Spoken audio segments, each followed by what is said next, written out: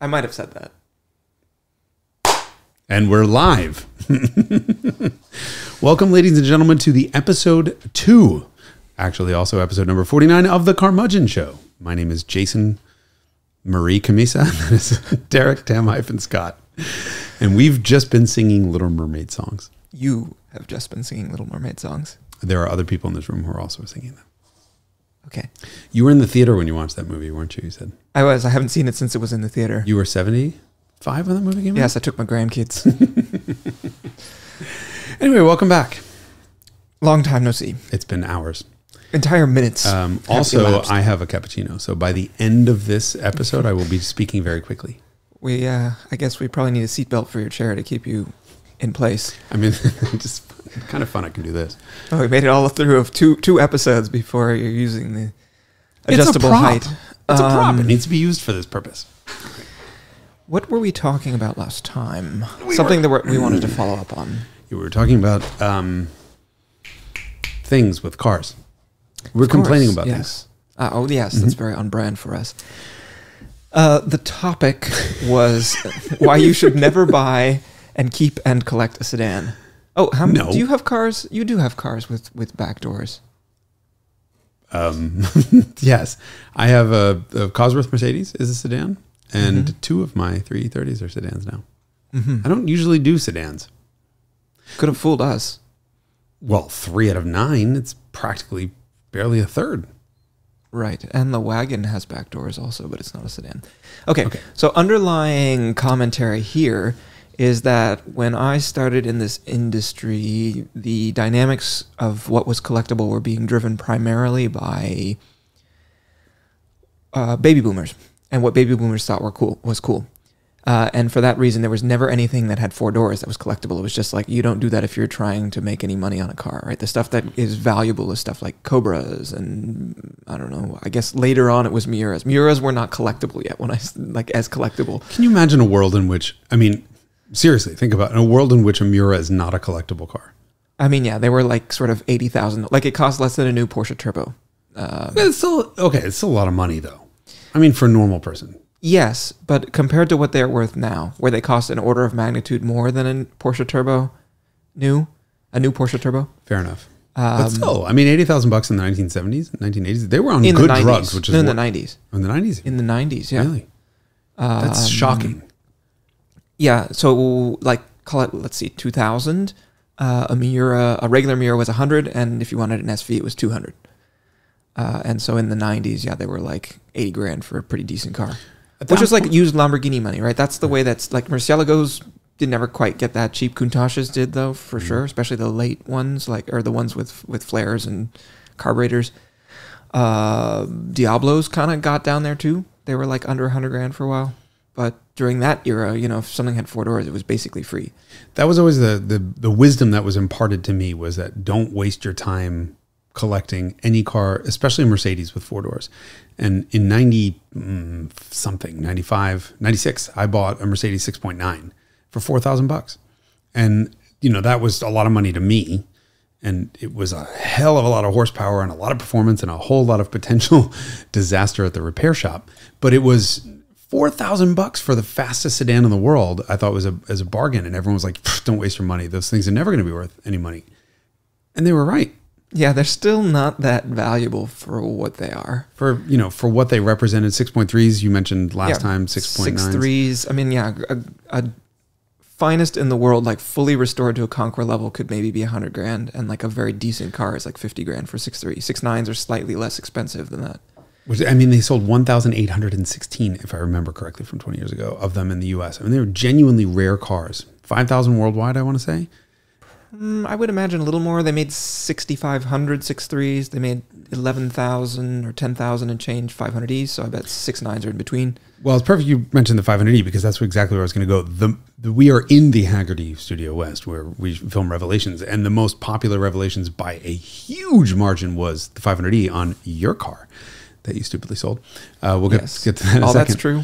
But it's it's you know it's approaching three million views for what, what is effectively a stand up video where I talk about the back the back history of the car, the backstory of the car. That is an expensive sedan now. Yeah, it is. Yes. I mean, the, so I've had two of them. The first one I bought I paid ten thousand eight hundred dollars for, which sounds like nothing now for how much those cars cost. Uh, but they became collectible, uh, and I think there's a bunch of other cars that have become collectible. I rattled off a few last episode. The E28 M5. I mean, great E28 M5s are north of hundred thousand dollars now for low mileage examples. Um, but there has been a significant shift, and I think that that is at its core. Well, you, I know, and you have a theory about this. At its core, I think it's driven by the fact that everybody wants the car that they wanted when they were young, and most baby boomers just didn't want sedans. There was no sedan that they truly lusted after in in their youth. I think that's for a number of reasons. And I think one of my theories on this is because at that point in the history of the cars, when baby boomers were young, it, the sedans weren't that great.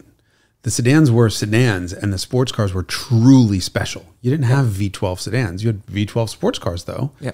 You didn't have hot rod sedans. You had hot rod coupes. Well, that's why I think the impact of the 6.3 is so significant, and that was one of the things that I talked about in my video. But I guess that all of the people who would have dri- would drive the values of cars from that era, which would be baby boomers, because mm-hmm. all the stuff from the 60s, you know, those exploded in value. Call it 20 years ago. That was when Ferrari Daytonas and 330 GTCs and 73 Carrera RSs and all that stuff started getting expensive, and it was driven by those guys, and they weren't really lusting after 6.3s. Mm-hmm.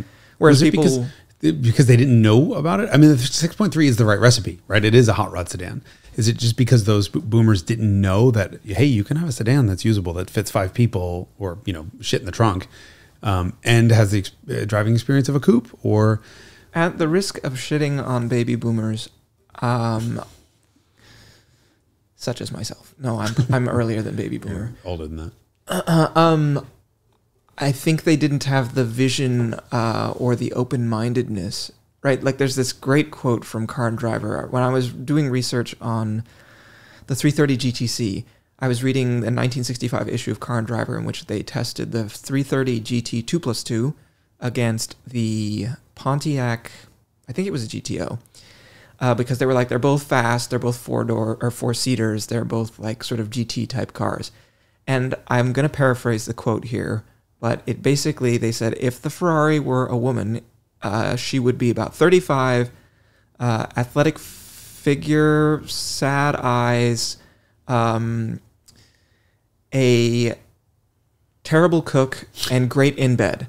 And if the Pontiac were a woman, she would have the pretty but empty face of an airline stewardess and be uninspired in both the bedroom and uh, the kitchen. And all of your friends would think you were the luckiest guy in the world. Uh, that's basically something that was published in a car magazine in 1965. Uh, and so these are like the the signals, right? These are the messages that car enthusiasts, young teenagers, right, who are reading car magazines, who were born in 1950 and are 15 in 1965, reading car magazine. These are the messages that they're getting about a women and b cars. Uh, and so I think that that mindset is probably, you know, what I'm trying to say is that mentalities have shifted a lot in the ensuing 50 years Thank God. uh, s- six- 55, s- almost 60 years, uh, if I did that math right. Anyway, uh, in the ensuing decades, mentalities have shifted a lot uh, about women and about sedans. Uh, and so I think that they just aren't of the mind that, you know, it's something like with four doors that looks sort of upright and square rigged and not, and is kind of a sleeper is something to be desired. Uh, and I think that we that, that in the ensuing years there have been cars that have demonstrated that. I mean, it helps that the 190e Cosworth made its sort of big PR debut at the Nurburgring, being driven by a bunch of a current Formula One drivers and b also like former you know world Legends. champions. Yeah, so like Stirling Moss I think was driving one. Ayrton Senna. Supposedly that Ayrton Niki Lauda put him on the uh, put Ayrton Senna on the Right. map. This is I love this story. You should should you you should probably tell you it. should You're do a it because I. Cosworth. I mean, Ayrton said it. So the the opening, the grand opening of the Nurburgring GP circuit, the new Nurburgring, not the Nordschleife, Mm-hmm. Right. happened in 83, 84. Yeah, yeah, So- I think this well, this race I think occurred in '84. Right. So this was the first race, and Mercedes, as a publicity stunt, set up a race of I think it was twenty identical 2.316s, all driven by legends in the uh, in or the current driver- F1 drivers. Yeah. One of whom was Ayrton Senna, who was not a legend at that point. He wasn't He was like a fucking new. Oh, really? Oh no, he pinch hit for what's dude's name who uh, uh, Sex and Breakfast. Um, Oh, uh, James Hunt. Hunt, James Hunt. I'm, I think it was Hunt. It was Really? one of them was he out was drinking. around in '84. I feel like he had already was- burned out. Anyway, in any case, I didn't know this It was part. someone else. Someone else was out drinking, whatever, and didn't show up in the morning. And so they put Senna in. This is God so long ago that I read this, all this stuff. But Senna was like just okay, this new guy, and he was dead set on winning the race to show all these guys that he knew what he was doing. Yeah, so he's out there with Niki Lauda and you know whomever else is out there And racing. a, and a bunch of the other guys were. If you watch the footage, which is we should throw a link in, in somewhere. It is epic. it's epic because there are, there are a bunch of other you know Formula One greats and you know driving greats who were just moving, and then there was Lauda and Senna, and they were fucking going for it. I mean, hopping curbs and just absolutely trying to destroy these cars. A couple of cars did get damaged, Mm-hmm. um, but you watch the footage and it looks sped up. I mean, they're in the rain, And they're like drifts. drifting Mm-hmm. fully in the rain. Um, and Ayrton Senna won, and that was you know that was actually it was Ferrari boss was at the race, saw that and said, okay, let me go talk to that guy. Um, so that really, you know, got him noticed. The As world if- took notice. Yeah, and then of course we know what happened after that, which is he became one of the most legendary drivers of all time before tragically losing his life. But all that to say that this the backstory uh, the, of the sedan, of that sedan, and of others, I think in the ensuing decades have changed people's mindsets about what collectability is. And so you look at like Evo two Cosworths, and they made 500 of those, and those are f- for a good one over four hundred thousand dollars Oh, now. But here's a question. So E E30 M3 was was obviously we have to clear this up because there will there will be people who are like E30 M3 was first. 2316 came in 1983. Uh, the M3 E30 M3 was 1987, so it was three to four years later. Um, do you think the E E30 M3 would be worth more or less if it were a four door? I think it's immaterial. That's an interesting point because I think E30s overall, you know, we have you have coupe, sedan, wagon, and convertible, and strangely, of all of them, the highest prices I've seen have been convertibles, which I do not understand. I have not seen that. I'm surprised to hear that. I would have expected a coupe 325 IS to be the So a big valuable. bumper 325s or a little bumper 325. th- the, the later ones, The later like ones. mm, 89 and up. I'm not sure it really much matters. I and that's the weird thing about E30s. I'm not sure it actually matters whether they're coupe, coupe or sedan. I think touring is a different market, and obviously convertibles are just a different car. I mean, it's a they drive very differently, and they're very heavy and very flexy and very cruisy rather hmm. than squirty. But anyway, just interesting because the two three sixteen was a sedan, and the E E30 M3 was obviously coupe only. And I just I wonder if it would have affected everyone's impression of that car if it was a four door. Yeah, the 190E was the Alfa Giulia of its day in the sense that it was only offered in one body style, Right. whereas everybody, like BMW, has had, had a proliferation, Mm-hmm. albeit somewhat accidentally, with the introduction of the wagon version of that car. Yeah, the wagon version of the E30, but the M3 was obviously only uh, coupe. was coupe, and then you know for the for the next generation, obviously E36 was all of those all four body styles again, but E E36 M3 was both three body styles, coupe, sedan, and convertible. They learned their lesson. Um, anyway, so all right, so back to 1960 something when you were an old man. No, I have nothing further to add about the 60s other than I just think that, that buyers who lusted after cars of that era are not uh, conditioned to desire a sedan in the same way that uh, people who are from Generation X and newer are. So one of the other biggest factors in in collectability and value of a car is always scarcity, right? How few were made. And this one factors into 500e because 500e was not a high volume car, but all of its mechanicals were effectively identical in the R129 SL 500 and 500 SL. And you sold your 500e to get a 500 SL. Um, it the 500 SL was a consolation prize, effectively. I would have preferred to keep the 500e, but I wanted the money out of it for something else. Uh, and so the way that I came to terms with that decision was to buy a 500 SL and get substantially the same car for a tenth, eh, maybe not a tenth, a fifth of the money.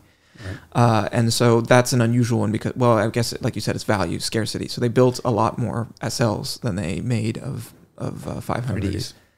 Yeah, but I wonder if so 500L, uh, the, the R129, I think, is hopelessly undervalued. I it agree, is such an 100%. incredible car, and I don't own one, so I don't. I'm not unlike you. I don't stand to profit from this conversation. Um, but Yes, it'll uh, go from being worth twenty dollars to twenty five dollars. that's- quite a percentage improvement. But I really think I can't. I don't know if I can wrap my head around a world in which a nice 500e is now hundred thousand dollars and a nice 500 SL is 20, 25. Yeah, 20, for an early car, like fifteen should get you actually a pretty nice car. that's kind of shocking. It's really shocking. Okay, you really want to blow your mind in terms of sedans that are valuable. So the AMG Hammer. So everybody mis let's clear this up. Everybody misidentifies or mischaracterizes the 500e as a hammer. It's not. The hammer is an altogether different car. That name should not be applied to anything except for the AM, pre-merger AMG cars, which uh, were built in the late 80s and you know famously competed in the world's fastest car thing along with the Countach and the Testarossa or whatever F40. I forget what else was in there. 959. It was on the cover of Road and Track in like 1987. And the the AMG Hammer, the actual one, uh, they made I don't know. There's probably like a dozen of them that came to the U.S. that were built by AMG or Ford AMG North America. Those cars now. Any thought on what that might be? What those things are worth? They have to be worth a lot. I mean, the 500e and all of the all of the other high performance sedans are going to pull that value up. First of all, second, scarcity. Right. This is not when AMG was a division or a brand or just a different model. I mean, you know, you can get an AMG A class front wheel drive car. Um, this was actually a tuner that took the cars and was in bed with the with Mercedes in racing. So it was a real, genuinely different thing. It was an M1.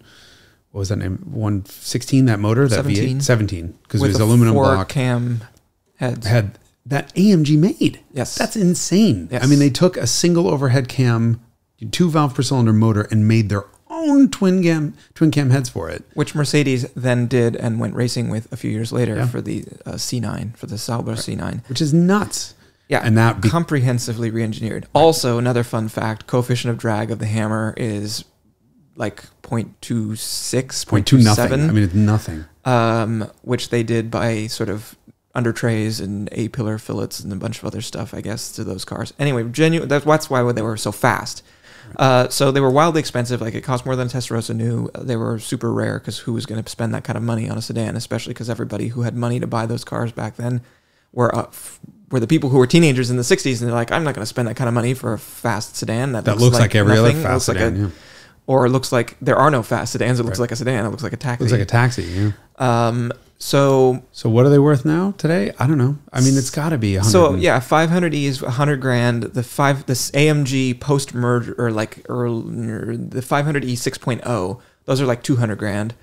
Um, 190 Cosworth Evo 2s are like 400. A good hammer is above 500. Get out. Above 500, yeah. Like you could be like six, seven hundred. So what's a hammer, hammer. wagon worth? Then? I don't know. There are two here. Holy shit. no idea. I mean, find another one. That's the Yes. thing. Scarcity. Again, find another one. Right. I mean, and also because there was only a dozen of them made, right? You only have to find a dozen people who think it's worth that much. Whereas, you know, if there's thousands of them, thousands of 500Es. Uh, and then there's, there's another thing that drives value. Like you said, scarcity, either rarity when they were built in the first place or rarity now. And of course, so many 500Es got used up. The same thing happened with all variants of M5s because all the guys who are not wanting to put miles on their Ferraris or Porsches because the weekend car to but still want to have a, an enjoyable daily drive uh, those guys will all have used 500Es and M5s as daily transport. So they're all floating around with 300,000 miles on them. So when you find one now that has 26,000 miles, it's like, holy crap, find another. Right. And then we have the next factor, which is the bring a trailer factor. So it's, it's, it's exposure, right? You have all you said a minute ago. All you have, to, all it takes is find two people who want that car, and or twelve people that want that car, and now they're all in the same room because we're on the internet. They're not at some auction that they didn't know about in some obscure town somewhere. They're all in the auction. They're all in the room, and values go through the roof. Yeah, because a lot of people are like, this one's here, it's available now. Like, I just don't, I'm tired of looking. Mm-hmm. This seems good enough. All these other people seem to think it's worth this much also, so I'm willing to spend that much. And then, of course, there's a little bit of like gamesmanship and the public audience thing that happens in all auctions So do you think uh, as well. Do you think that the inf- so I mean there there are a ton of people that I'm talking to that all that think the classic car market is totally inflated. To which I say, well, if modern cars were that good, classic cars wouldn't be worth this much, frankly. And that's my that's my canned response. Do you think it's a permanent thing, or do you think think it's a temporary phenomenon because all of a sudden everyone's in the same room thanks to the Bring a Trailer and Company, right? The sort of online auction places. So one of the things that I think about to answer that question is it's got to be macroeconomic, right? In some sense, you have to have a large enough number of people who have a bunch of money to drive these factors. There's there's a bunch of people who have a bunch of money right now. If all of a lot of those people disappear, call it like 2008, right? When there's a big dislocating economic activity or, or event that occurs that removes wealth for a lot of people, then there's just the values have to go down because there's fewer people who are able to participate in that. Barring that, or aside from that possibility, which is very real. Uh, I think that the values are probably sustainable, certainly for the near term. I'm continuously heartened by what I see from young people when I go to car events. Um, there was definitely concern when I started doing this 15 years ago that enthusiasm for and interest in cars was just going to completely disappear from the next generation. And, Mm-hmm. you know, there were a bunch of people who were like, all these kids these days are just playing video games and blah, blah, blah. Do you know where all this came from, by the way? Because I still hear people quote this study. There was one study, and I don't remember who did it, but it was a, study that asked people, asked kids, that if they had to decide between an internet connection or a car, which would they choose? All right. You can ask people really bad and misleading questions, and that is that's a fundamental mechanical issue with the study, and that was it. What a dumb fucking question. Would you like air or would you like your car? Breaking news, 99.6% of kids say they would rather not have a car. They would rather choose to breathe. Of course, that I mean, what they didn't realize at the time, the designers of that study, who were fucking inbred, obviously, didn't realize that the internet isn't just a thing that you can play with. This is like electricity or water. It's something that allows modern society to function. You can't ask someone, "Would you rather have that or a toy?" Obviously, we know what's going to require. That's where all that came from. So when I started in this industry, also 15 years ago, all we heard was, "Oh, the younger generation is not interested in driving." It was all because of that one fucking study written by morons. Um, and I hope they're listening to this or their fucking children are, and so they can curse their dead parents or whoever wrote that study. Um, because it really informed a whole generation of people who thought, I'm the only one. There's no one else is interested in cars. And then they come to a Cars and Coffee and realize everyone who's there is in their 20s and they all like the same shit and they're really cool. It just put the whole sort of movement of car enthusiasts back by 10 years. Yeah, I couldn't agree more strongly. And then, of course, the type of car enthusiasm enthusiasm that we have now is different from the vision that these people who were sort of running around saying the sky was falling 20 years ago. But that's okay. I think that pro- progress is natural, and that people are going to gravitate towards what is relevant to them. And for that reason, you know, people who are interested in cars from the 80s may not get the excitement around. I don't know. Choose an example. Is it LFA? Is it 458? Is I it don't know. I mean, the thing is, you know, you sort of everyone always says you see this sort of moving window of like a twenty year period that you know twenty years back was with the cars that have the most value. I think there are a lot of them that have defied that trend. 60s cars and 70s cars that have really stayed up in value and haven't really Yeah. Fallen. I guess, you know, maybe look, it's 20s and 30s cars now that no one really gives a fuck about. But the part of that is usability. I was and this is that, one of yeah. these trends that I am seeing in the car industry or in the car enthusiasm industry that I'm really delighted by is that people are interested in what I think in academia is called instrumental value, and which is to say the value of the object as an instrument to do things. Mm-hmm. Right? If you certain things where you look at the value of like I don't know Ferrari 250 GTO is worth 60 million dollars. That's not because of its instrumental value. Its value as a tool to do stuff is in the order of hundreds of thousands or maybe like a million dollars. You know? it really? I don't know. I don't know. I would pay a million dollars to go to have something that would take me to get food when I was if I were starving to death. Okay. Um, that is not. So the instrumental value of this car so so a huge portion of the car's value is not instrumental it's Right. not about its value at doing stuff it's its value as a cultural artifact as the ultimate expression of the ultimate era of the ultimate manufacturer in motorsports of whatever the fuck um, and so that was started out very coherent and rapidly deteriorated into you started to make sense right at the end. Like I didn't know what the fuck you were talking about until you said whatever the fuck. Now I know. Um, so the value of that car is not about what it can actually do. And what I'm seeing, and so the way that I got to this point or this comment is that I'm seeing people who are buying things and driving values on the basis of what they can do with them. And people want to use these cars. And so whether it's, you know, cars and coffee is a minimal thing or going rallying or some kind of situation where you're actually using the car, because there's so many collectors who, you know, these cars kind of disappear where they just end up in private collections and don't get seen or they end up on the lawn at Pebble Beach and nobody gets exposed to them or or whatever it is but I see that value trends and sort of what is hot and and what people are seeking the, uh, in the market is driven a lot by how you can use it and that's the problem with cars from the 20s and 30s Right. is that they're hard to use now for the average person who is interested in cars it's hard to cross that chasm because there's a big step I mean even between 1939 and 1929, there is a big sort of discrete step in usability of cars. I don't. yeah, I don't think we could really get to the point until the 80s. The post malaise cars, I think, is where we finally at the car the point where these cars are genuinely usable in traffic. Meaning they keep up with traffic. They can you know they can drive at the, the speeds that we drive at, but are also reliable enough to do that where you're not scared to risk it. Because even 60s cars, Yes. oh, it's hot out. I can't take the car out because it's going to overheat. And yeah, so a lot. Especially. 60s cars, if it was an expensive high performance car, and this is the thing about the Gullwing that to me makes it so transcendent, is that despite it being from the 50s, you can effectively use it like a modern car. Uh, and it's just performance. I mean, like performance wise, what is it? It's, Seven seconds to 60. I mean, it's quick. yeah, so what is that? It's slight, it's behind like a first generation M5 Mm-hmm. for sure. It's, uh, mm, I The thing don't know. about those cars is they start, they run, they idle, they don't overheat. you can get parts for you them. You can get parts for them. They're just they're real things. Where Yeah. you you know, the comparison we can always make is the Miura, Yeah. which is just a very different. Yeah, I mean I've never tried to daily an E drive uh, to E type or sit in traffic on a hot day in an E type, but I suspect, given my experiences with seventies and eighties Jaguars, it will not end well. Yes, they are actually possible to sort.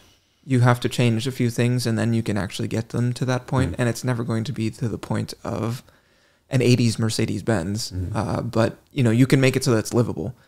Uh, but yes, the point is that something that is, is usable. And so for me, like it, for a special occasion car, I'm okay with low uptime. Are you though? Not if it's seven figures. Okay. if the car's cheap enough, right? It has to be at the right situation where you're like, okay, this is a number of dollars where I'm okay spending this on a toy that doesn't have a lot of uptime, but I get periodic enjoyment out of. You say that though, but all of the cars that have been high maintenance and broke a lot, doesn't matter how cheap they were, they went. You fucking sold them. Because your point was, I'm paying insurance, I'm paying upkeep, I got to pay to repair these friggin' things, and I don't get to enjoy them to that whatever Stanford E bullshit you were talking about about instrumental blah blah blah. Um, but yeah, that's the thing is you want to drive your cars, Yes. and if if they're down three quarters of the time, or if every single time you drive it, it's got to go into the shop for something. No fun. It's not doing its job. Right. Yeah.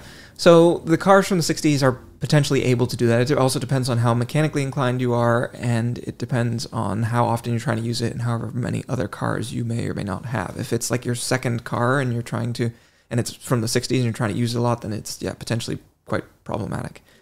Uh, so yeah, that's what has driven the I think the, the the dynamic with cars from the 30s is becoming irrelevant. It's to, to some extent cars from the 60s. Simple cars from the 60s seem to do okay. Trucks, Broncos. I mean, look at Broncos; those have gotten valuable. They're simple. Mhm. They're pretty robust. They're easy to live with. Parts availability is great. They're usable. Yeah. Right? They're usable, Usable in, terms some of- sense, right. as long as you don't want to go on a highway and stay right side up. Yeah, but it's not usable. Not usable for a road trip, but it's usable for you know put your family in you know especially the to the convertible ones and just go down to the beach or keep one at the lake house to tow the boat down and that's a use case where you have something that's a piece of art and a cultural thing, but also can get you somewhere.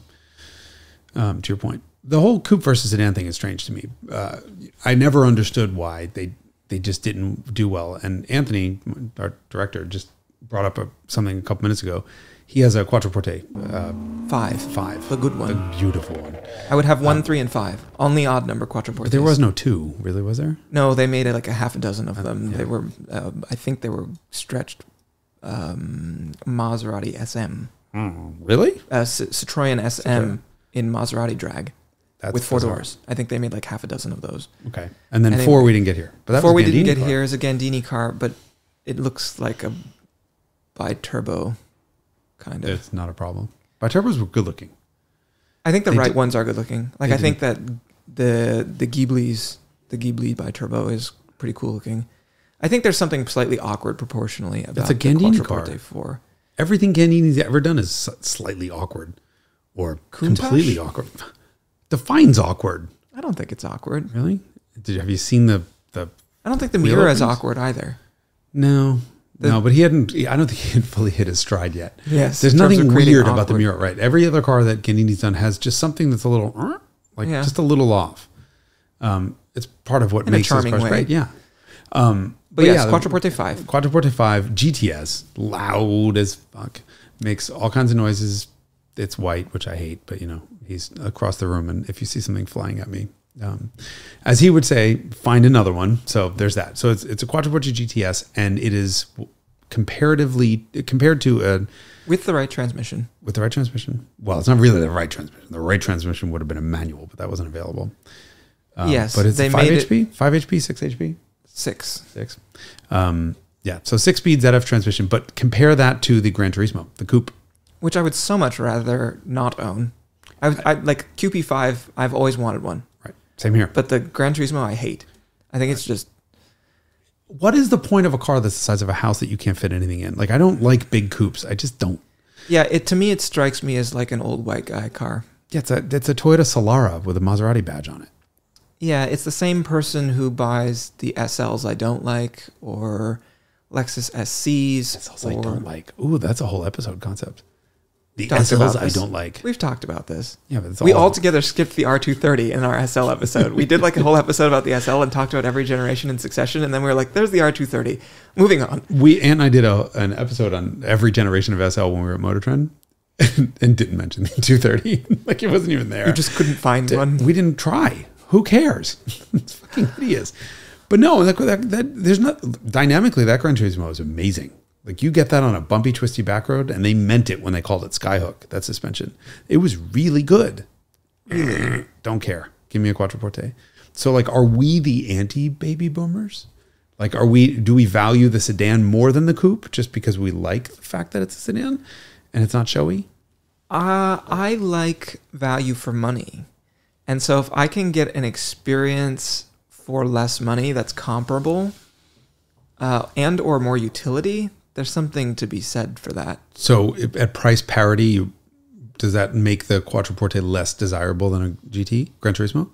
If they cost the same, I would buy a Quattroporte. If what if the Quattroporte cost twice as much as the Gran Turismo? So opposite of how it is now. Uh.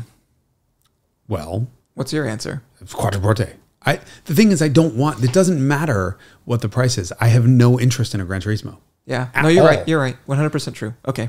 But a Framed like. I don't really care about the back seat. I mean, yes, it's great to have that. It's a nice back seat, huge trunk, like 14 dead hookers in the back.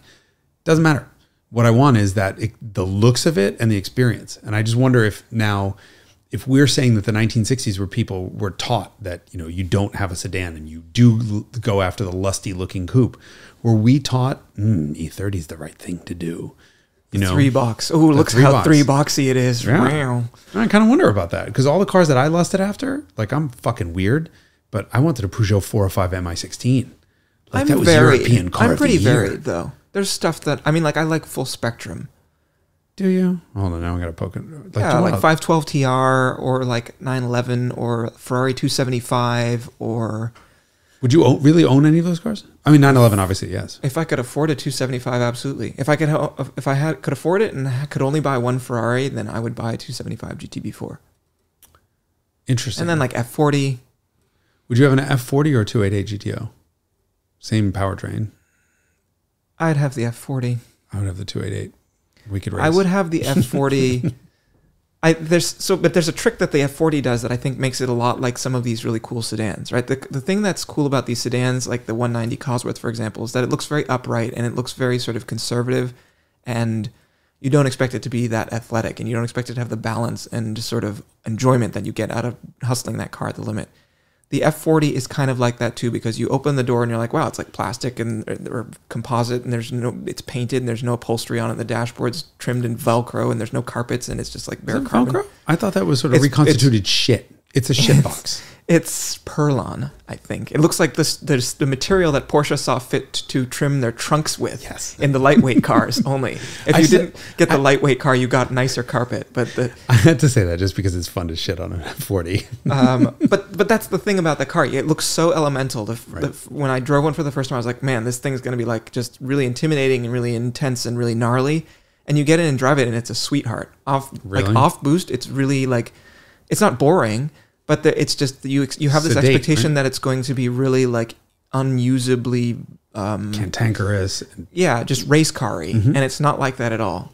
I Uh, thought the and same about the 288. yeah, and so I really liked that about the car is that when you haul, like it's wonderful. Like it, it, it, you can. It's one of the only Ferraris of that era that you can drive like a 911 in the sense that you can take it, you know, drive it hard and ask a lot from it, and it doesn't start to break down uh, dynamically. Yeah. So 288 was the same way. So I drove a 288 GTO last last year at um, uh, Car week. Car Week, and I came out. I blew my mind because every Ferrari I've ever driven has been a disappointment in sort of. uh, Part, this is expectation setting, right? This is my expectations of my dream of what I thought a Ferraris would drive like. And the Testarossa was like the biggest joke of my life. Like I, I was like, look at this, it's got side strakes, it's a flat twelve, it's this and whatever. I fucking hated it. I so I like how it drives, but you have to divorce it from how it looks. Ding ding, exactly. I had to. It was. It wasn't until the second or third time I drove one where I'm like, yeah, it drives like a big seven series with a with a Yeah. V12 in it, and then you get in, you're like, this is a really nice car. But then you drive a 512 TR and you realize that is how it was supposed to have driven in the first place. and Fuck the Testarossa. So, anyways, but 288 GTO, I got in and I'm like, okay, this is going to be brutal. It's gonna. It's not going to want to idle. It's going to be miserable. It's going to be slow and boosty and laggy in the way of like a 930, which is not a good way. And the steering's going to be shit, and it's going to bottom out on everything, and it's going to crash into the bump stops, and it was fucking magic, just absolute magic. Yep. Yeah. So I would have, and if the F40 is anything, I've not driven an F40. So if, if it's anything like that, then I can. Yeah, it has a lot of the same attributes. It has this this sort of it's rewarding in all the right ways and it's not an ass pain in all the right ways. Countach's can be an ass pain in some of the wrong ways. I still really like them and I would still very much own a Countach, but they can be a pain in the ass in a lot of sort of ways in terms of just trying to use the car. Specifically like the weight of the controls. The shift effort is just insane. You're just like, is this for real? Like, is this car broken? Um, and you know, seeing out of it is also very difficult. The its steering's heavy at low speeds, but it, once you're moving, it's fine. Um, so, but yeah, the, the F40 is tough in all the right ways and easy in all the right ways. So it's interesting. You were talking about the F40, and I've, I, it made me think of another car that doesn't drive like it looks. It's another car that looks like it would be aggressive and sporty, and then it's not at all. E E31 se- uh, 8 Series. I've never driven an E E31. Oh, get out. Okay, then we can't. We're gonna have to hold this conversation because that's another car where it's a complete mismatch. I mean, uh, I have to imagine it looks like a drive. It looks like a big GT. Like, does it not? It's not like To a me- seven series. To me, it looked like a 550. Like it, it looked Maranello. Like it looked like it. it Or Maranello looks like it. or, okay, same thing. But it's sort of it Chronologically looks. It looks very much like It's the Ferrari quint- GT Yeah, yeah. Okay, so quintessential like front engine uh, sports car. sports car. Sports GT with Oh, to me, it's like an S class coupe. unfortunately you're closer that's closer to how it drives because the 7 series of the day was a dynamic masterpiece i mean they were just they were really really good to drive for a sedan and in my mind i had that you know pre having driven a testarossa for example i thought ferrari front engine v12s were going to be nuts or you know any of the v12s were going to be nuts to drive turns out they're not and it was the same disappointment with an E31 because it's quiet and sedate. It's actually very slow. I mean, they're really quick instrumented test wise, but they just don't respond and the transmission won't shift. And Yeah, Just- it's a mm. car for old rich people. It's the thing you were talking about before about not liking big coupes because they tend to the experience that comes with a car that's built for an old rich guy tends to be like a comfortable Bentley type of experience. Lexus, yeah. it's a, it's very much a Lexus, for- the Lexus formula. I don't like that. And that's what sells cars to people who have that kind of money who are going it did. did. That whole thing is that there, here's an interesting point. The coupe market is totally dead. A, there are no sports coupes that we can buy anymore as, you know, young enthusiasts. You have Oh, you're talking BRZ and about that's it? Yeah, yeah. You're talking But- about the descendants of like the Integra and Right, the that- the uh, Eclipse, the first and Eclipse. Prelude and all Yeah. of those amazing cars. And then you get to the other end of the spectrum of the luxury sports coupe. Those are gone. I mean, you know, think about how cool a six series was when you were 50 years old, when I was a kid. I mean, that was just like a six series was hot as shit. An eight series was like mind blowing. I mean, the, the sort of big luxury or the big sports coupe, gone. I mean, yeah. So Bentley does it. Um, that's- I mean- Aston Martin. Yeah, when was the last time you knew of anyone who bought an Aston? I mean, Aston did S the, class coupe is that a still a thing? Yeah, coupe is still a thing, but sedan is, uh, but convertible is dead. I don't, I don't, I think the whole large coupe. I mean, you, you also we had Camry coupes, we had Lexus SCs. Those are there's an entire f- sort of segment of mid-size luxury large coupes that are dead. And I think what happened is sedans got good enough that it used to be that the Or sedan was eh. SUVs? well, that fucking ruined everything. I mean, I mean, all that, so, so I think that the mentality that used to correct me if I'm wrong because I wasn't here, but from watching like the old John Davis things where he's talking about like We're glad to have you with us. Camry coupe. He always pronounces it Camry, not Camry. Anyway, Camry coupe. Right, the, you would buy a coupe if you were like, I don't have any kids, and so I can do the like less practical, more sporty like form factor. Pretty much. And I think that now people are using the instead of that as being the, like I'm individualist and I'm going to do the less practical thing. They're going to say I'm going to treat myself with an SUV. I'm going to do something different and get an SUV, which is Yeah, of course what every other damn yeah. person under the sun is doing. But their their idea, if they're sort of of this old fashioned type of thinking, which is the sedan is the thing to get. Or the, the the sensible, responsible thing is that in order to indulge their individuality, they're going to get an SUV and think different. That's my hypothesis. I, it's an interesting one. I don't know if it's true. I mean, it was definitely the case back then that the coupe was, you know, like a six series was one number higher than a five series for a reason, but really it was six or seven numbers higher than a five series, right? A five series meant you had to make concessions to real world usability, and a six series meant you didn't. You were that rich. That meant you had a Range Rover that would be broken down on the side of the road, ostensibly there to take your children to school. Um, But was the same true? Like this, was that magic rubbing off on people who were buying Accord and Camry coupes? Yeah, probably. They were, you know, the sort of Camry coupe buyer to me was the the fifty something female real estate agent who never really needed to put people in the back seats, but maybe kind of had to.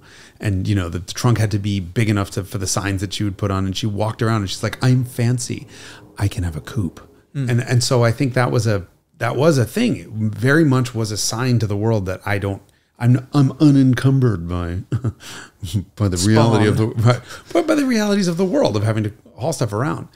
But then you, you sort of look the other way and you realize that Mercedes E-Class wagon customers, when you know a couple of years ago, had like on average 18 cars and were four times more wealthy than Maybach customers. I mean, these were the richest people in the world, and they're like, you know. So I don't know. I don't know what what goes into people's thinking, except that Depends on the type of money and this, the. If you're actually rich, you have an E class, and if, if you you're want, wealthy, yes, if you're wealthy, wealthy, you have an E-. E-wagon. and if you want to send the image of wealth, then you buy something more E-Class conspicuous. Perhaps, yeah. When you buy an. The funny E-Coupe thing is that they were eighty thousand dollars in nineteen ninety five, which is a 124. E coupe. Yeah. I mean that was the ultimate. That was a wealthy person's car. That was not a rich person's car. Because Yes. you could you could buy an E class sedan. Think about it this way: the E class sedan for what forty grand for a nice one, well equipped, and then that same car with that same three the E three twenty same motor as a convertible was what two and a half times the price. three. Yeah, I That- remember seeing them on the showroom floor because my mom had a Land Rover and the dealer sold Land Rovers and Mercedes, and we were at the dealer getting service a lot. in the Land Rover. And I remember seeing a black Opel E320 uh, cabriolet, Cab. and it was eighty three thousand dollars. My mom's like, "Oh, a convertible with four seats. I've got two kids, perfect." And then we're like, eighty three grand. I mean, that was in that was nearly Bentley money, right? It had to have been in no ninety mid nineties. So an S class would have been about ninety thousand bucks for an S five hundred. Yes. So yeah, it was serious money in 1995. Yeah, Um, and for uh, probably a good comparison is an, a base 993 911 at that time would have been 60 maybe 65 Holy shit! So twenty thousand dollars more, more, than a base than 993 Yeah. yeah So we're talking about in today's in today's value, one hundred thirty, one hundred forty thousand dollars for basically what is a sixty thousand dollar car with a roof chopped off, which is nuts. yeah But it was worth it. Those things were fabulous. those cars just i don't know they don't do that much for me station wagon for a 124 i got it it's got to be Mm. station wagon for me or a 500e But or you would just say one twenty nine and get an SL, which is what you did. yeah, I uh, yeah. but those cars were genuinely expensive. They were $100000 at that same time for 500 for 500 yeah i kind of wonder if i had to get a 124 what would it be? I've never owned a 124 i've had like five 201s um, i've had three.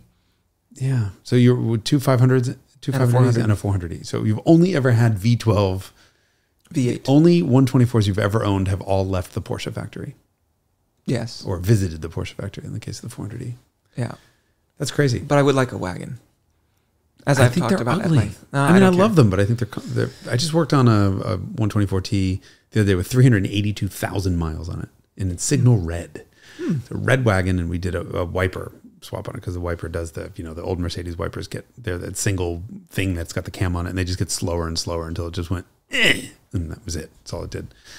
Um, what an, a phenomenally well engineered car, and it looks great in red. I will say it was it was it's gorgeous in red, but most of them are like white, and then you notice how little the taillights are, and like all the magic of the back of the 124 with the the sort of slash. Oh, of- the envelope. like the envelope, yeah. Mm-hmm. I guess that's the best way to describe it. That's the way the, the way the trunk lid opens just bifurcates the taillights. Apparently, that's what they call them in Africa. It's perfect description. But the wagon doesn't have that. Correct. That's kind of the best part of the back of the car. I'd still have it. Uh, what were we talking about? We went down a rabbit hole, and of course, ended up talking about Mercedes. Sedans and how they're not as. uh, We always wind up talking for Mercedes for the 90s. I mean, um, we were talking about how it used to be that a sedan was never going to be a good investment, but coupes were. And that's changed and possibly even inverted. Yeah, I think that's possible. I mean, ultimately, it comes down to what did you want when you were young, and if you're of an appropriate age, where you you know you're buying, where you you are a, your generation is driving the buying dynamics. Did you have, okay. Did you have posters on your wall as a kid? Yeah, What were they? Porsches and airplanes. I think. Okay. Uh, did I? I never had an F forty. Uh, Countach maybe. Uh, yes, I know you had a 405 on your wall. Y- Yeah, but I just I'm always curious. I this came up in a conversation the other day. If we were You know wondering what? if kids have posters Y- today. You know what? It's, it's actually for me is that I never wanted to ruin the artifacts by putting it up on the wall, and putting holes in it, and so I would keep them in tubes and, and on shelves. And this is why I have like a huge collection of vintage car brochures now, and I would like look at those. I don't want to sully the poster by putting holes in it. Putting on. I mean, you could have like mounted it and had it framed and you know, I know been really expensive. bougie. I know. That shit's very expensive. Otherwise, it would have. um, there were some actually that, um, as a good compromise, my dad would have mounted on foam core because that was like you know reasonable money instead of a couple hundred dollars. Yeah, three dollars at the stationery store. You, got a glue stick and you, were put done. it on foam core and hang hang it on the wall. And uh, I would I would do that sometimes. Yeah, Okay. but oh, Jag XK180, Really? Jag XK180 wi- together with a D type. Okay, that's a strange one, but okay. Yeah. I mean, I had a Buick Reatta poster for a while. Okay, that's that. That thing was fucking hot as shit. That was spaceship, like 1988, whatever it was when that came out. Absolute spaceship. It was a great looking car. Plus, the Reatta logo had that like R that had like a little oh, tail so it. royal. Uh-huh. It was very, very regal. Not a Buick Regal, but a Buick Reatta. Um, 405 MI16. Other, they were. I was never into like 205. I had a 205 GTI poster for some reason. That's I cool. thought GTIs, uh, uh, Peugeots were cool, but I don't think I did. I had a 944 S2 cab poster. I know why a cab. I don't get it. And every time I've driven a 944, I've almost cried. Yeah, it's better for the people outside of the car than the inside of the It's car. just I want the box flares, but I want that wretched engine. Sorry, it's not a wretched engine. It's a beautiful engine. It's wonderful. the soulless, wonderful soulless. Thank you for making me not the evil one here. Um, yeah, well, it- it'll be interesting to see what the market does because I think you know as as we continue to move forward with gas at a million dollars a gallon, I'm curious to see if people are still using older car, older, more inefficient cars. Um, and Uh, so the the genre to return to this sort of like coupe accessible coupe thing. So that genre was ultimately inherited by, I guess, Nissan Altima and Infiniti G35, and then like all that stuff's gone now. I guess BMW still makes the Mm. four series, and you can probably get a Q50 coupe. Q60, yeah, it's called a Q60. Yeah, Is that it's is Q50. the sedan a a- Q50? yeah, mhm. Okay, so those are the They same. did the same thing that BMW. everyone, yeah, everyone followed that where you know the, the Audis gain a number to become the coupe of the of the thing that they are. Okay, so all of those things still exist. Mhm.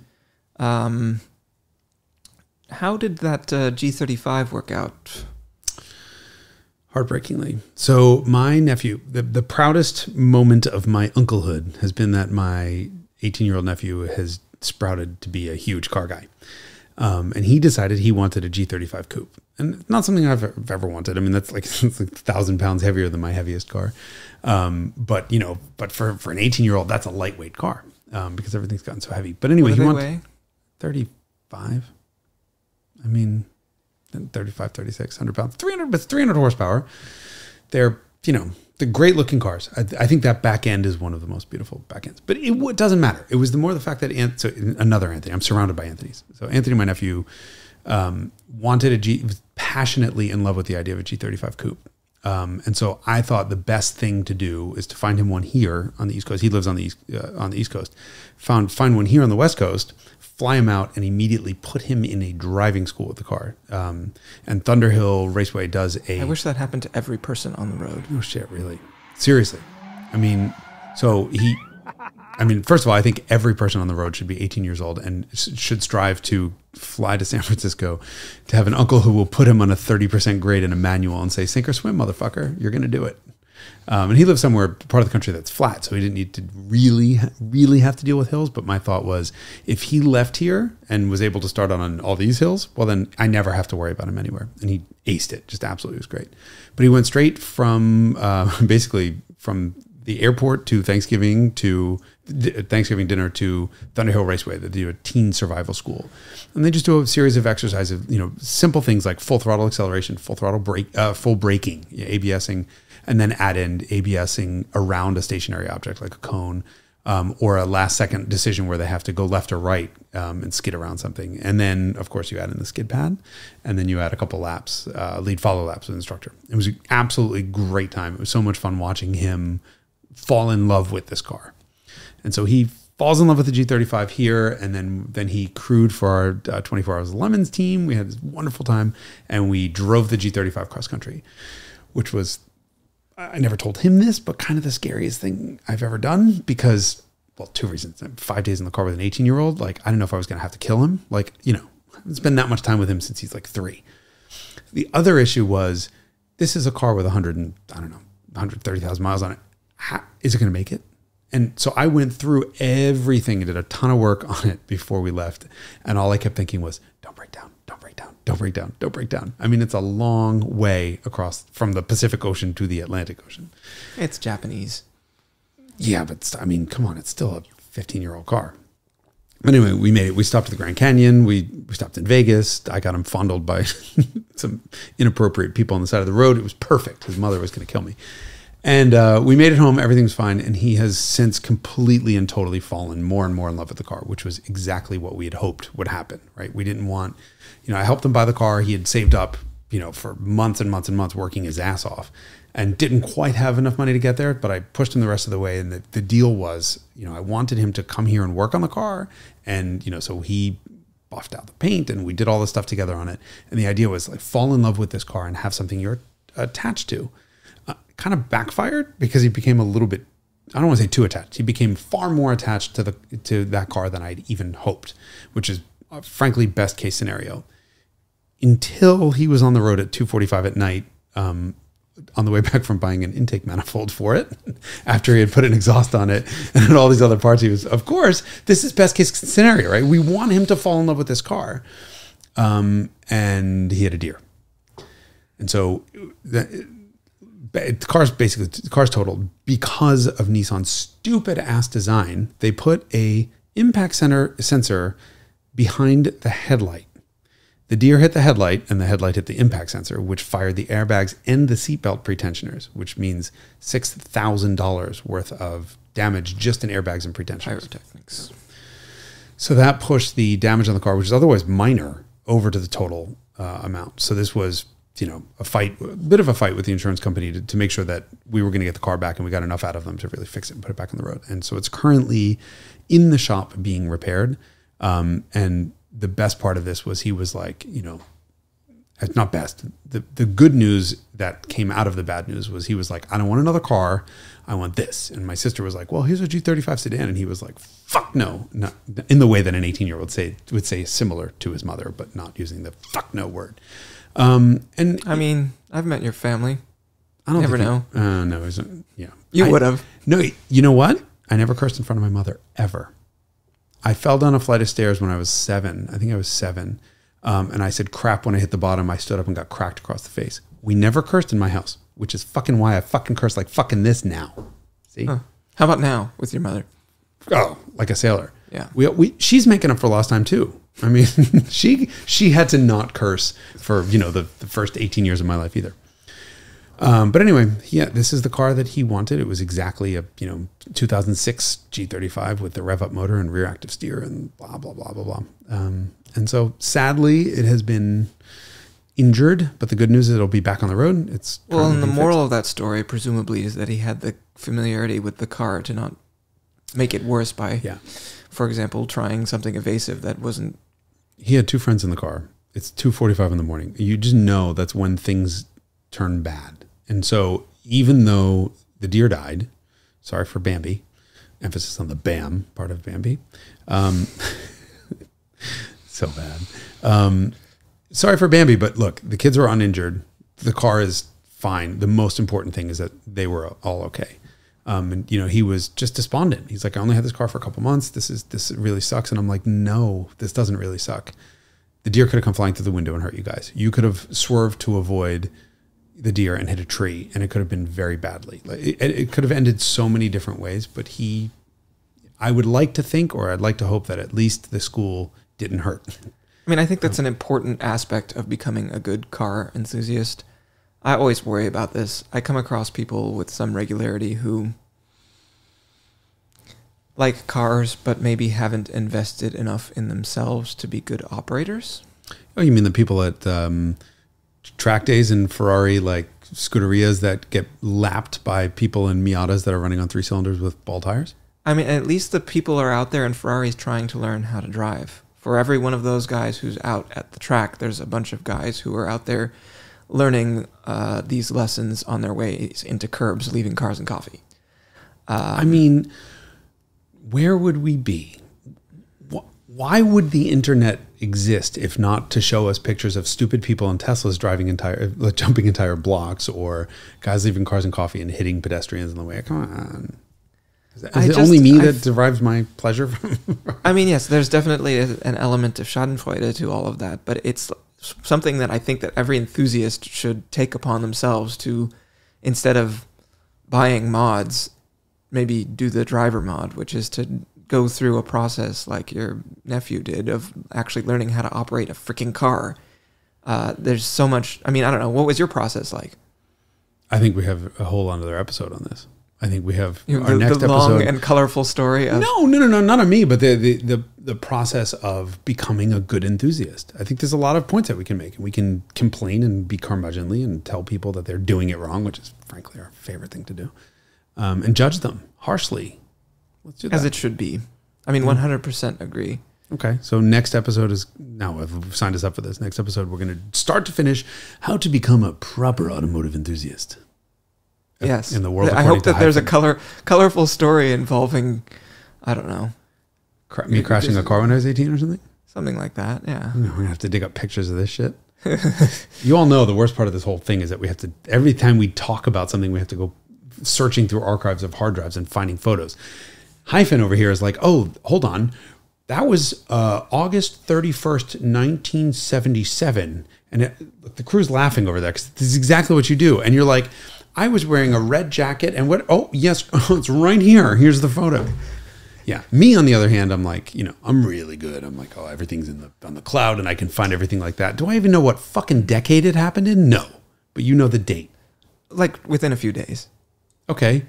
What is the first day that I ever drove a Ferrari 308 GT4? Uh February 28th, 2016. Pull it up. Pull it up. I don't understand how you know this. February 28th, 2016. Okay. So he showed up at my house. I think we've talked about this before, so I'll say it briefly. He showed up at my house for a barbecue, and he showed up a couple hours earlier than everyone else in an ivory Ferrari 308 GT4. And my line was, What'd you go and buy that ugly Ferrari for? Uh, he then handed me the keys and was like, That's why. Drive it and find out. And I drove it and offered it uh, to purchase motherfucker february 28th 2016 3.48 p.m but there are other people there what you're gonna have to you're gonna have to sh- screen grab that and 1217. 12, before anyone else had arrived. i can't how how do you know this I don't know. I honestly genuinely would not have known what year it is i didn't even know what, when i bought it from you because it was like three years later right it was 20, 20 2018. hold on this was 16 uh, I- i was only two years june of i was Because I had already owned the car for some time before you drove it. Okay. So yeah, took you almost three years to sell it to me. Fucking bastard. You're welcome. It's now the car you were most re- second most reluctant to sell, despite Okay. continued efforts on my part. Like the 288 GTO, it is the, the it's the those are the only two Ferraris that have ever lived up to my expectations in terms of how they drive. That three oh Well, your expectations were very low for the 308. To no be fair, no it actually hits all the expectations. Okay, I might have been they might have been low be- to quote that. you, right? What are you doing with that shit box? Was that what I said? I don't know. Shitty, old- shitty old. I think I was shitty white ugly Ferrari, whatever the fuck I said. My expectations for a Ferrari and were very high, but my expectations for a 308 GTB and a GTS are were unbelievably high because of how beautiful those cars are, and they are not good to drive at all. And so that this car surpassed even the expectations of the of the pretty 308s. And everybody who owns those cars knows that if they've driven enough of the cars. Ferrari told me that. Ferrari's people, people in Italy, they're like, don't tell anyone, but these are the better, the best driving 308s. I'm like, I've told everyone already. Yes, There's no That's one hundred secret. percent true. And the thing that it makes it drive so great is that it drives a lot like a 246 with a different motor. Never driven a 246, You have to. I mean, it'll feel very familiar to you. except it's got a V6. Yeah. You know, we did a whole episode on how I hate V6s. I mean, I like them. I just like the noise. You're an asshole. But I did, I will say, I've heard the noise of those things, and oh my God, they sound good. Yeah. Plus, I will happily drive one one Ferrari. Hey, Ferrari, give me a 246 new one. Uh, the, the, what's the new one? Yeah, 246. Oh, New one. 296. 296. 290. That, that sounded 296. I wanted to, I really want to drive a 296. So maybe 120 degree splay angle will change my uh, opinion of V6s or not. I mean, yeah. Do you mind them when they're 180 degrees? That's not a V6, I guess. It's a flat 911. six. Yeah. Yeah, totally different thing.